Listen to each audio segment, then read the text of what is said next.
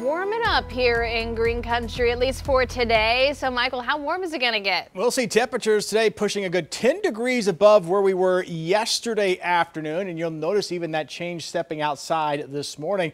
How about highs later today pushing 80 degrees? In fact, even around lunchtime into the low 70s. So Find a patio and enjoy lunch outside. There will be a breeze, though, starting out out of the south, becoming more southwesterly into the afternoon, but at 10 to 20 miles per hour with a few higher gusts and the dry conditions that we have, that fire risk is going to come up a little bit. Not going to be extremely high, but certainly worth monitoring as we go throughout the day. And it will be a little bit higher for those of you here to the north and west. Humidity values We'll be down around 30 to 40 percent when we peak with the heating this afternoon. And again, we've still got those drought conditions here across north and western portions of the region into southeastern Kansas. So that's why that grass fire risk will be a little bit higher north and west. So just be monitoring that, cautious with that as we go through the day. But other than that, it will be a beautiful day. Upper 70s and low 80s are going to be the rule across the region this afternoon. If you got any outdoor plans, thumbs up. They're going to be good to go. We'll notice a few more clouds sweeping through the metro by late afternoon and the first half of the evening before we start to clear things back out tonight. That'll be with a weak cold front that's going to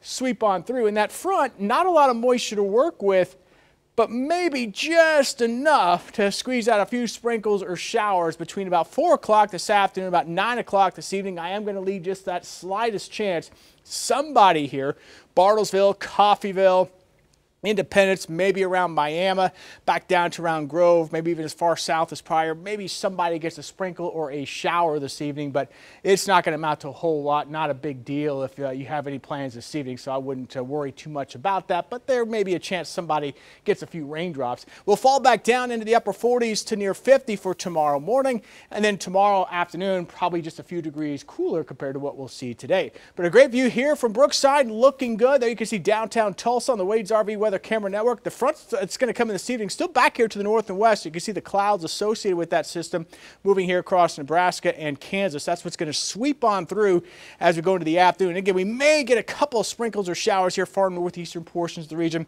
Not a big deal. That front sweeps through, does cool us down just a few degrees tomorrow. Once we get into the weekend, there'll be another isolated storm chance to the north on Sunday. Temperatures, though, staying warm for those weekend plans. Oktoberfest, we've got Tulsa, Boo Ha Ha looking great through the weekend. We'll break down some higher rain and storm chances next week in that 10-day forecast in the next half hour.